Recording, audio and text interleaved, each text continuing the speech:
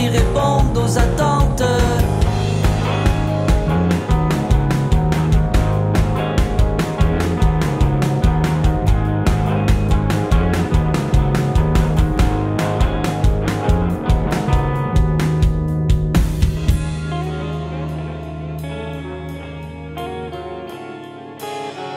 Le temps d'une leçon méritée, volte face, deux yeux sont pleins.